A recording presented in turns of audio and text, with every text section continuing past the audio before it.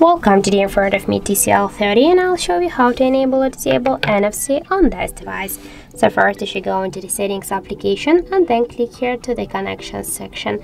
Here tap to the NFC and just to activate this feature you should click here only once on this feature and that's it. You can see now here the uh, just icon that. The NFC is activated. And if you want to just turn off the NFC click once again on the NFC switcher and that's it.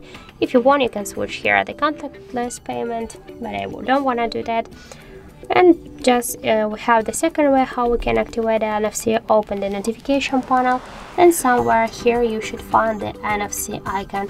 Is as can you see in my case it's here. Now just to activate the NFC click once on this icon and that's it.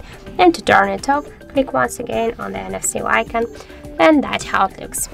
Thank you for watching and if you found this video helpful don't forget to leave a like, comment and to subscribe our channel.